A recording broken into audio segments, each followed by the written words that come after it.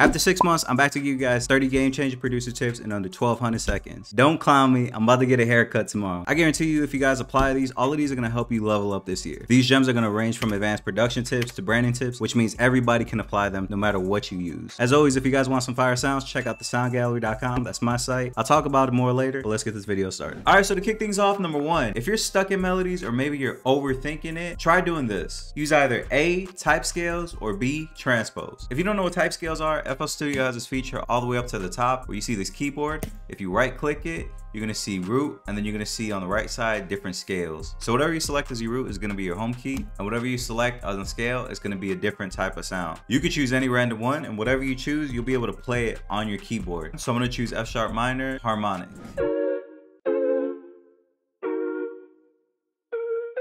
As soon as you hit the piano roll, it'll record it to that scale. This is definitely a dope feature, but if you don't know your intervals or scales, it'll be a little tricky to come out with some melodies. That's why I go with option B. Option B is transposing a key that you already know. So me personally, I only know A minor, C major, and C minor. I know some other ones, but those are the ones that I know best. So I have this melody right here.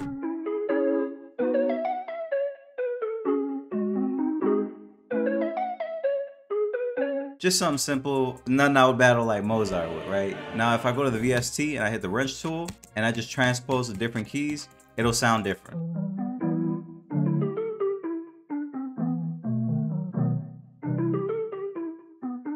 And if I want to know the key, I just hit add the key and I'll hit A and it'll mm-hmm. tell me which key it transposed to. Approaching it this way is all about convenience and having fun. You don't have to know all your scales right now. You can just do it this way. And if you don't believe me, some of your favorites like T minus, Sizzle, ATL Jacob, Nick Mira, and so many more approach it this way. Now, the second one is a super big gem and I put it out a couple months ago and it went crazy viral. This is how you navigate through a drum loop a lot easier. These two knobs right here are super slept on. Say I have a drum loop like this.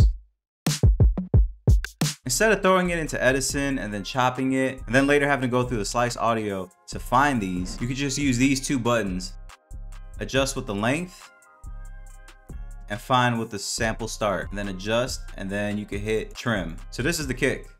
If I want the snare, I'll just find the waveform. If I want to give it more tail, adjust the length. Doing it that way is a lot easier because when you change computers, you only have one waveform as opposed to going and searching through your slice audio folder and having to find the different little audio files that sometimes could get rewritten. This is definitely one of those work smarter, not harder type of things. And it also reminds me of like how they used to chop sounds in the MPC. The third one is free VSTs. Now, I'm not gonna show you all the free VSTs that I know because that'll take too much time, but I definitely went viral a lot of times showing you guys free VSTs. So I'm gonna put a list down below as well as the links to where you can get the best ones. I'm gonna say this right now, get on this one one before it gets everywhere because this one got its own sound and it's free and people aren't on it yet. Majority of these tips are questions that you guys wanted to know that I asked on IG. Number four, how do you make your one shots more unique? You could do it by layering textures, effects channels, guitar pedals, samplers, granulizers. There's like multiple ways to get creative. But to save you some time because you know I wouldn't stir you wrong, I'm gonna give you guys a free preview of one of the kits that I'm coming out with called the Gameshark Volume 3. If you know about the first one and second one, they're pretty much goaded. And you know I take a lot of time with making my sound sounds. So here's a free mini kit for you guys down below. This is what some of them sound like.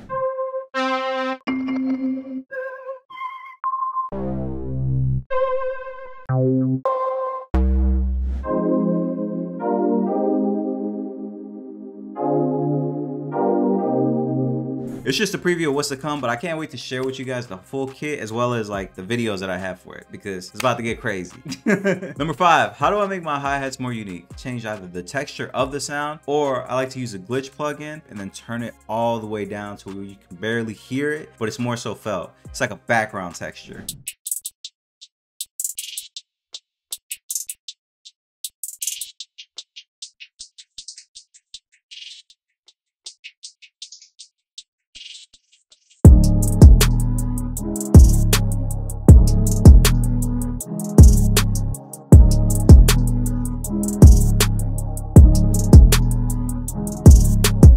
Far as changing the sound, try doing something different. Try live recording or recording stuff from your crib like this and turning it into something that other people can't duplicate. Number six, my kick and 808 don't gel together. What can I do? You could either A, use a different kick or B, pitch it. Hold on, let me pull this beat. I'll give you a better example.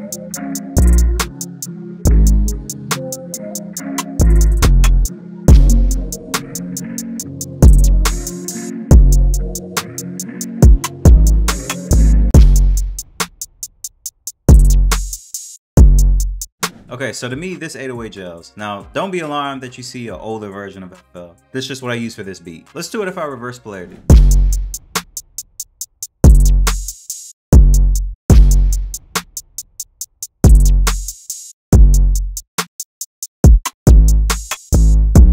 What I was saying was you could either use a different kick, reverse polarity it. Sometimes a weak kick isn't always weak. It's just like you got to reverse the polarity of it, which basically flips it. Or you could take the 808 and just nudge the attack a little bit.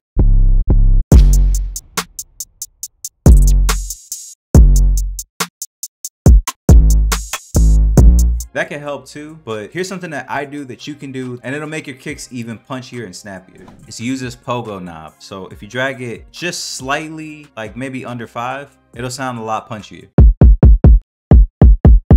Now if I go way too crazy with it, it sounds like an EDM kick. But if I drag it to the right, it sounds too flat, so I would have to use a different pitch for it to sound good. So just try to find somewhere tastefully for it.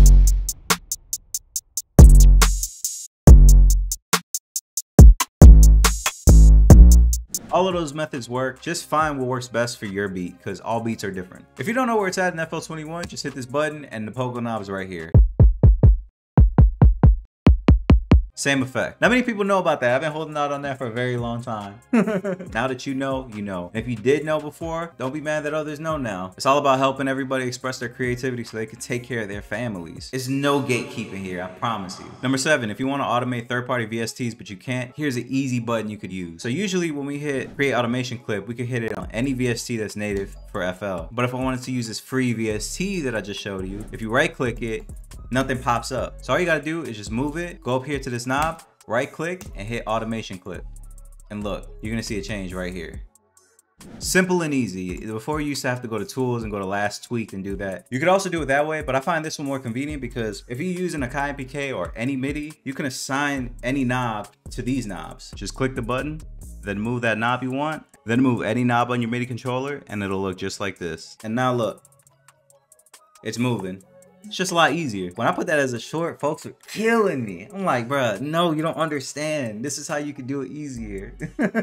Number eight, what's a good beginner setup? Listen, whatever you can make music on. There's a couple music apps that you can use on your phone that are great to start with. I know Steve Lacy was making music on his phone. I used the damn USB with FL Studio 10 on it to get some things rolling. That's how I sold my first beat. But for argument's sake, let's say you don't have two bands to spend on a laptop or a gaming desktop like I have. Let's say you got a laptop for Christmas that isn't that great, but it works for school school. Or you happen to find an old laptop that has Windows Vista on it that's like over 15 years old. In any of those cases, I highly recommend you get an SSD. An SSD changed my life. And if you're looking for an SSD, I got you. This is what I use. It's perfect. Just get a Velcro strip for the back of your laptop. So invest in an SSD until you got the money to get a good laptop. You don't really need much, just these type of specs. Whew, I need to speed through these because I'm taking too long. Number nine, take a day for efficiency. That means make your acapellas. Take a day to find new samples. Take a day to find new inspiration. So that means like songs, maybe like five songs that you're really feeling. Put them in a playlist and try to make your own versions of those songs. Maybe organize your yearly folder. Like this is what my yearly folder looks like. Collabs, drums, finished beats, uh, FLPs and zips, loops, and then splice content because I'd be making splice videos too. There's many ways to be efficient. So take a day to be efficient. Number 10, use an acapella site like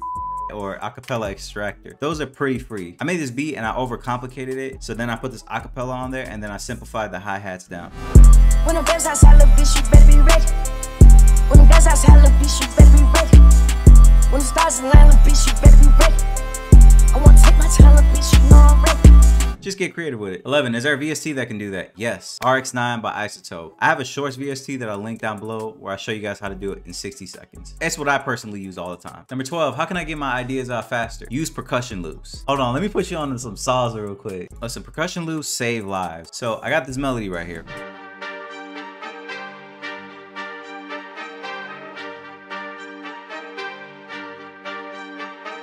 I heard that and I'm like, sheesh. The drums gotta be super hard. I had an idea. I went to my percussion loop kit, which at the time wasn't out, but now it is out. It's called the Formula One percussion loop kit. And I heard this.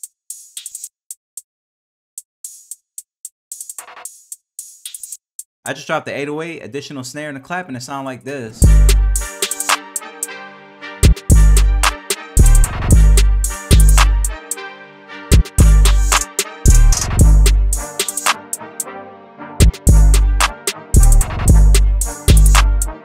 Here's another example.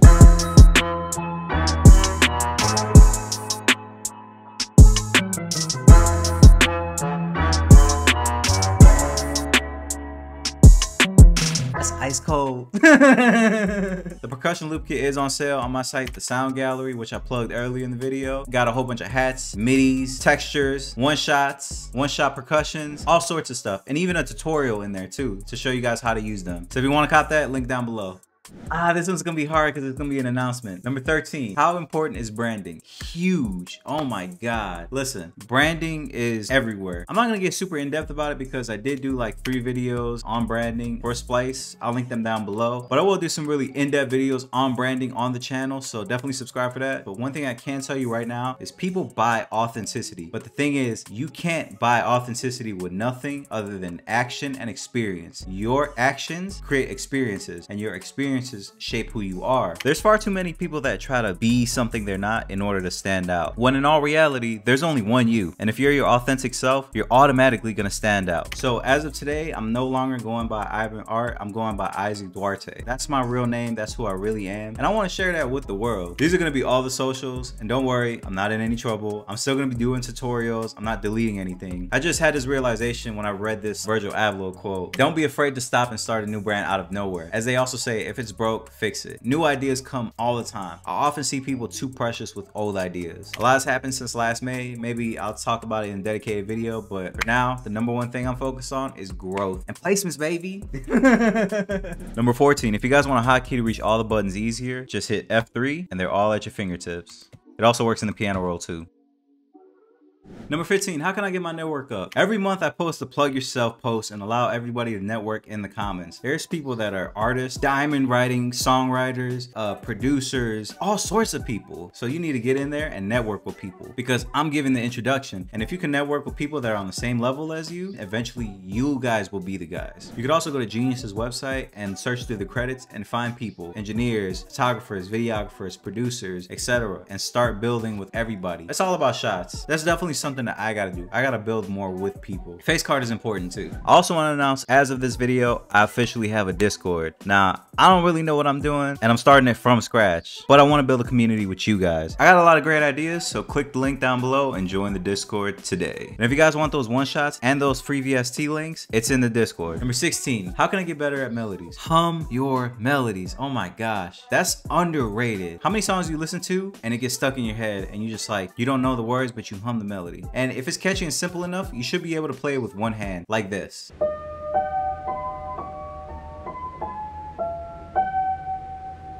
You gotta put that song out.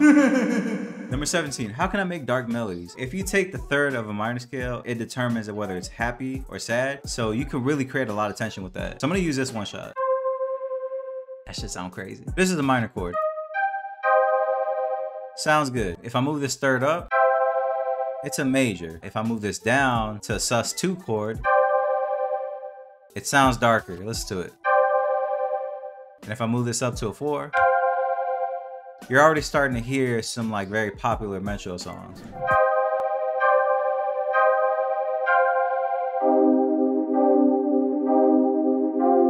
And that's like one way you can make dark melodies. Also like half steps like these are also really good for making dark melodies because they're close together and they create that tension. So if you're inspired by Metro or Southside, use these three methods. They work perfectly. Number 18, how can I get those Naruto loop sounds? Oh my gosh. You could use the same chords that I just showed you. Some of the VSTs that you can use are Portal, Granulizer, Gross Beat, Shaperbox, and Finisher Micro, which is free. But geez, y'all gotta get creative with it because this sounds so dark and it'd be sounding like the same. How do I find my next chord? Well, just use the bass notes to find it. So and then just build on top of them.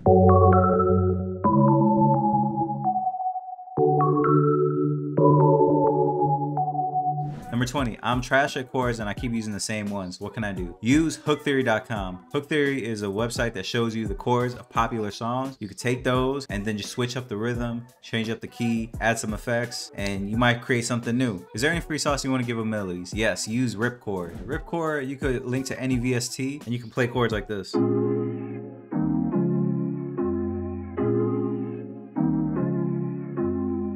Number 22, you can burn to MIDI with any chord generator. So if you like these chords, right click and hit burn to MIDI current pattern. And now you got the chords. Number 23, I'm having trouble with people taking me serious because of my appearance. Listen, appearance matters more than you think. You gotta put that shit on. You feel me? And there's people in the music industry that they don't make the greatest music, but they're in the crowd, they're in the scene, and you know, they don't dress like a slob. For one, it's not on you, it's in you. I might not be the best dressed. I at least got stuff that I like that I'm comfortable in. Like if I meet somebody in the movie theater and I tell them what I do, if I look busted and disgusted, they're gonna be like, there's no way this guy does that. He's probably capping. He doesn't care about his appearance. And unfortunately, we live in that world. Like invest in what you wear. Now, I'm not saying you gotta dress like this. This is crazy. But you also don't have to dress all Rick Owens out like this, this, this. None of that. You know, you look like an opium member. Just dress something comfortable, something casual that you like to wear. In all my videos, you've seen me wear different clothes because I like comfortable clothes that I like to wear. This hat is from Cardo Got Wings' brand. This hat, Beach Noise, is Kendrick Lamar's producers that made Mr. Morale and the Big Steppers. It's a conversation starter. This Christopher Kites chain, other people don't have it. A lot of these things are statement pieces that I can build a conversation with people with. I didn't think about how important your look is until I went out to like events and I was like, okay, I gotta start wearing clothes. Some of my favorite producers got that shit on. Cardo Got Wings, Boy Wonder, Metro, Pharrell, Kanye, you feel me? Like all of them got clothes. Whatever you have, invest in your wardrobe. Like stop playing with these people, bruh. Put that shit on. What can I do to get better at music? Bro, super underrated hack. Pay attention to the charts, bruh. Listen, there's a reason why they're up on the charts. And yeah, regardless of what you feel about music, it's not real music. Uh, there's a reason why people like that. I'm not saying be a bot and copy what they do. Basically, what I'm saying is just be aware of what people like and study it and try to apply it to what you do right now. What does some Illuminati say? Number 25, how can I humanize my melodies? Man, underrated. Go to Edison, hit record, and just play your chords out one by one. And then put them on a playlist, chop them up, and it'll give them like a sample human feel. Number 26, very underrated but very effective. If you're uninspired, just change the color of your piano roll notes. Like I promise you, it'll get you out of your zone. I do this like all the time. Simple but effective. Number 27, if you ever want to save all your sounds, just go to File, hit export and hit project bones or project data. That's not only gonna save all your sounds, but it's gonna save all your presets, all your MIDIs, all your mixer presets, everything in that project file. So instead of doing it one by one, you can just hit a button and do it a lot faster. I also got a 60 second short where I talk about that in depth, so I'll link it down below so you guys can watch it. I'll run that up, please. Number 28, please protect your eyes. We're constantly looking at screens, so download this app that I have down below called Flux. It's free, and basically what it does is it protects your eyes by making the screen a little bit tinted. I would get a ton of headaches and migraines by looking at the screen 24-7, so please do that. Number 29, how do I get through beat block? You're not blocked, you just need to change your approach and try something different. So try a different genre or a different approach to making music. If you're used to clicking stuff in, play it out. If you're used to playing it out, try clicking it in. This is also a great site. It's called Radiooooo, and basically you can sample any radio station from different time periods all over the globe. The way it works is you click anywhere on the map and you choose a time period and it'll play a random sample.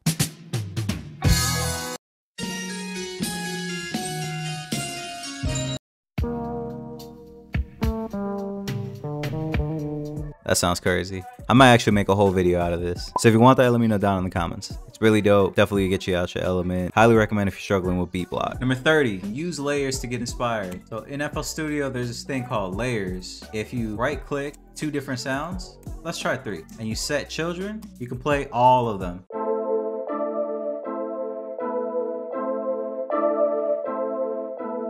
So that was 30 producer tips in under 1200 seconds. As you can see, I had to end the video with the haircut.